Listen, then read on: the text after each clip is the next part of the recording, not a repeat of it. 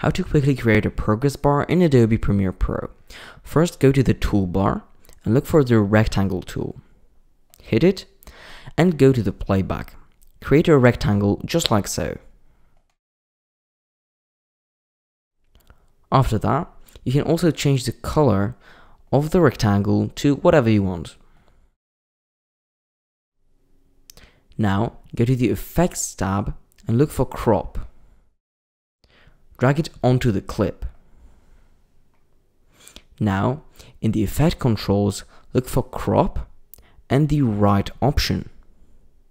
Hit this little clock, this will create a keyframe. Drag it to the end of the clip.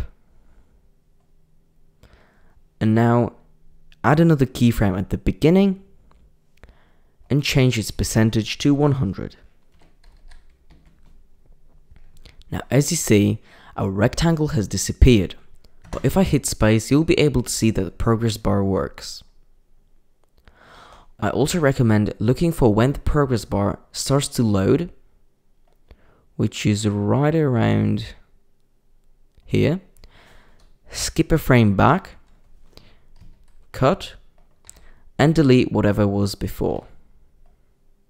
That way you'll be sure when the progress bar is starting to load.